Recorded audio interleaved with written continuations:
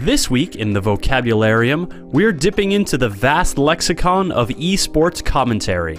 There are a lot of strange terms out there, but in light of GameSpot's recent partnership with the North American Star League and Major League Gaming, this week's term is beautiful fungals. Beautiful fungals.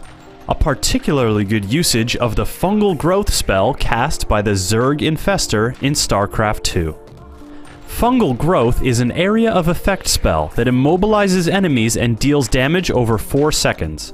Fungals do not stack, but with sharp timing and a few infestors, you can chain fungals together to neutralize and destroy a substantial chunk of your enemy's forces. Immobilized enemies are sitting ducks for a variety of other attacks, while two or three fungals can eliminate a crew of workers and cripple your opponent's supply lines.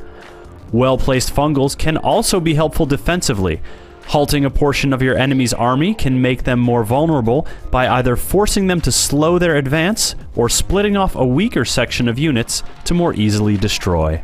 Hearing the phrase beautiful fungals from an esports commentator means that a competitor is on their way to getting the upper hand, while delivering the phrase beautiful fungals to a person you admire is a good way to get a different kind of hand beautiful fungals.